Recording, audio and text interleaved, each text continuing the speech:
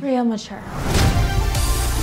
This problem is a lot like the last one. Anyone want to give it a try? Can we stop talking about school and put our considerable free-thinking brains to good use? Like raiding Rakowski's whiskey stash. Rakowski's got a whiskey stash? Raid on Friday night.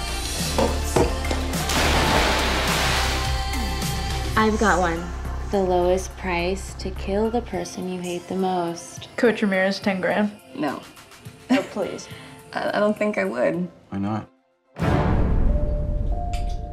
Frenchie, are you okay? French?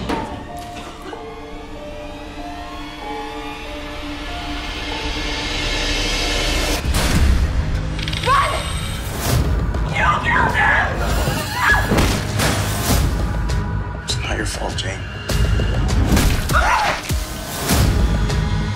Two kinds of people, Jane. Fiddle people, hammer people. And it's my job to make you pick up the hammer.